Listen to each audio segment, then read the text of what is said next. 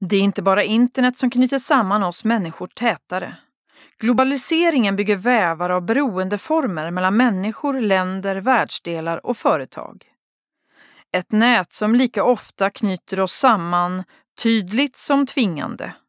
Andra gånger mer sublimt och skört, som i relationer mellan människor. Just de där näten, eller trådarna som binder oss så mycket till varandra, är sammanhållande strukturer i Shiharu Shiotas subtila installationskonst.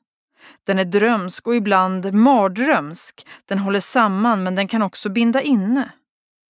I en av de enskilt största installationerna på årets Open Art längs Köpmangatan illustrerar hon hur vi alla är på väg genom livet. Chiotas återkommande symbol, båten, både bär oss och för oss obevekligt framåt genom rummet och tiden.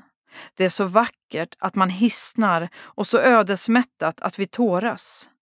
Visst väntar Karon där i sin båt.